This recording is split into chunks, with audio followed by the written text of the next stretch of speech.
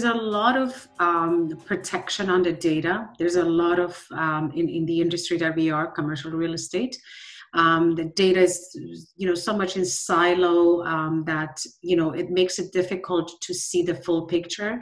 and get insight sometimes. Um, and I think those need to break because we're getting to a point where you know when we are serving the customer they want to have uh, real-time insights into so many different type of investments they're making in how their um, you know investment is growing and how they have to make decisions.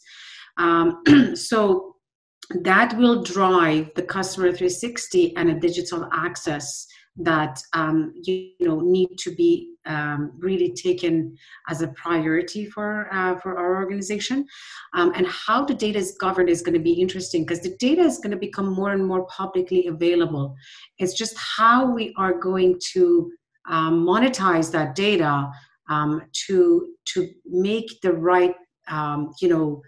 investment pitch or um, advisory for, for our client that is unique.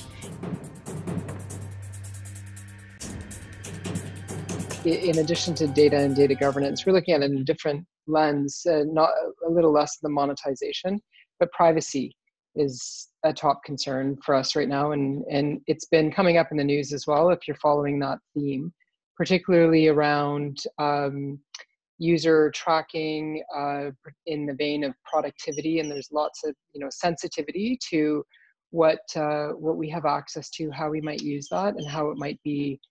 conveyed or misconstrued. So um, even things, Jeff, like the polls that we've been doing in in this Zoom meeting, as we've been rolling out polls and webcasts, uh, is how do we make sure it truly is anonymous and that that data doesn't get misused or misrepresented. So that's uh, privacy is is where we're seeing an additional concern that's mounting to us.